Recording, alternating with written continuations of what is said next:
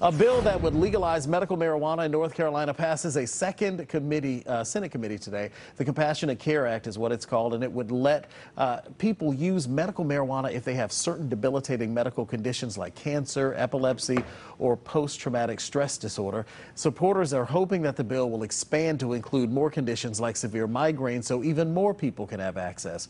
However, groups against it are afraid legalizing medical marijuana would lead to full legislation. The bill, by the way, still has two more committees to go through in the Senate before it would be up for a vote on the floor.